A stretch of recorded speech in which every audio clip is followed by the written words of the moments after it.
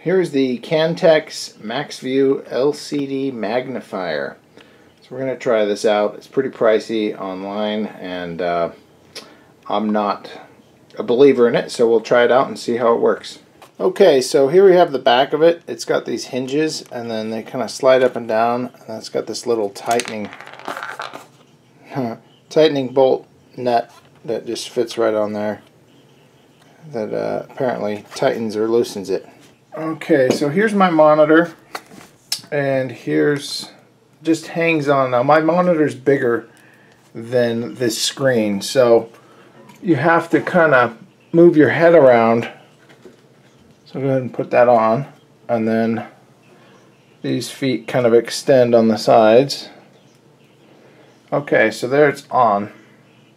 Above is magnified, and below is uh, normal size. So as you can see, I'll move the mouse up. It's not that great of a magnification. Let's show some text here. So Starbucks Barista Training Dice. As you can see, it really isn't doing that much. It is enlarging it, but marginally. So I wouldn't. I'd be pretty upset if I paid hundred dollars for this. But it is a good. Let's see if it works here. So if you come and try and view it from the side, it does distort it pretty well. So it's a good privacy screen. Um, but anyway, that's the uh, that's the product.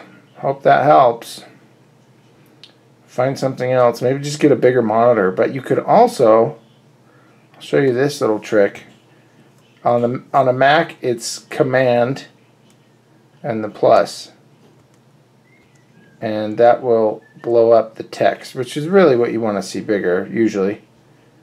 Um, but that way you can zoom in without having kind of a hokey. Um, magnifier on your screen. Anyway, I hope that helps. Save you a little money. Thanks for watching. Please rate, comment, and uh, if you want more reviews of all kinds of products, click subscribe.